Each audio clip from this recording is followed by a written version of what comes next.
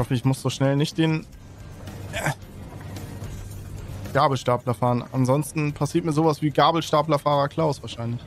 Schreibt gerne in die Kommentare, wer den guten Streifen kennt.